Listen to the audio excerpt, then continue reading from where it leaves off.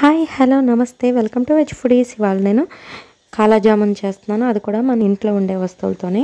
చాలా టేస్టీగా ఉంటుంది. ఇప్పుడు రెసిపీలోకి వెళ్దాం. ముందుగా ఒక లీటర్ పాలు తీసుకొని మందంగా ఉన్న కళాయిలో వేసుకొని మరగనివ్వాలండి. ఇలా మీగడ వస్తున్నప్పుడల్లా తీసుకొని పాలల్లో వేసుకొని బాగా కలుపుకుంటూ హై ఫ్లేమ్ హై ఫ్లేమ్లోనే ఉంచుకొని పాలని బాగా మరగనివ్వాలి. ఇది దగ్గర పడి సాఫ్ట్ కోవాలా అవ్వాలి. అప్పటి వరకు కూడా మనం బాగా కలుపుకుంటూ ఉండాలి. మందంగా ఉన్న కళాయిలో మాత్రమే పాలను మరగపెట్టుకోవాలండి. అప్పుడు మనకి అడుగన్నది పట్టదు. హై ఫ్లేమ్లోనే ఇది బాగా కుక్ అవనిచ్చి ఇదిగోండి ఈ విధంగా కోవాలా అయిన తర్వాత దీనిని ఒక ఐదు నిమిషాలు రెస్ట్లో ఉంచితే ఆ వాటర్ అన్నది ఏమన్నా వాటర్ ఉంటే అదంతా ఎవాపరేట్ అయిపోయి డ్రైగా అవుతుందండి.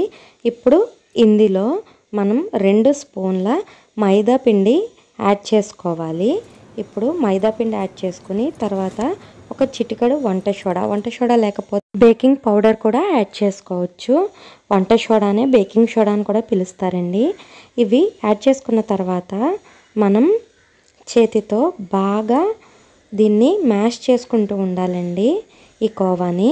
మధ్య మధ్యలో ఎక్కడైనా గడ్డల్లా ఉంటే అదంతా సాఫ్ట్గా అవడం కోసం ఈ విధంగా మనం చపాతీ పిండిలా రెడీ చేసుకోవాలి. రెడీ చేసుకుని ఒక ఫైవ్ టు ఎయిట్ మినిట్స్ వరకు ఈ విధంగా మనం బాగా కలుపుకుంటూ ఉండాలి. కలుపుకొని ఒక టూ మినిట్స్ రెస్ట్లో ఉంచేసి తర్వాత మనం చిన్న చిన్న పీసెస్ కింద డివైడ్ చేసుకొని మీకు నచ్చిన షేప్లో వీటిని తయారు చేసుకోవచ్చు.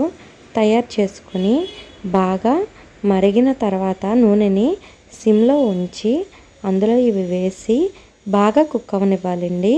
ఇవి మనం కొంచెం కలర్ చేంజ్ అయిన తర్వాత తీసేస్తే సరిపోతుంది.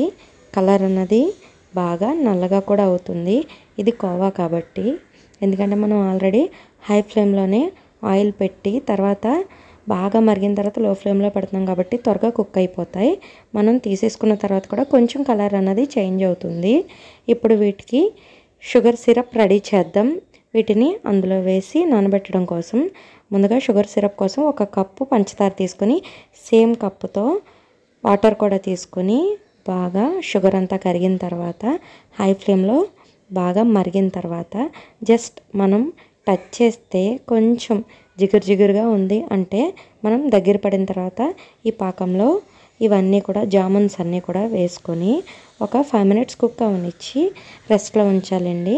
చల్లారిన తర్వాత తీస్తే కొంచెం జామున్స్ అనేవి ఈ పంచదార సిరప్ని పీల్చుకొని ఇంకొంచెం పెద్దగా అవుతాయి.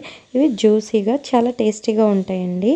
మీరు ట్రై చేయండి. ఏ విధంగా ఉందో కామెంట్ బాక్స్లో కామెంట్ చేయండి. నా ఛానల్ ఎవరన్నా కొత్తగా చూసినట్లయితే సబ్స్క్రైబ్ చేయండి. పక్కనే ఉన్న బెల్ ఐకాన్ క్లిక్ చేయండి.